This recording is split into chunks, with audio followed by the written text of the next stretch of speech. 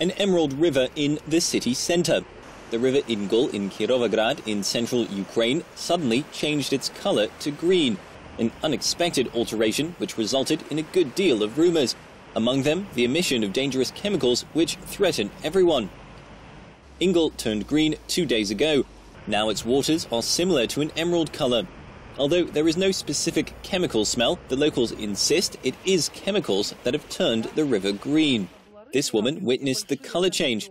Now she is sure the dangerous substance killed the river fauna. They floated on the surface, though the crawfish does not do that in normal conditions.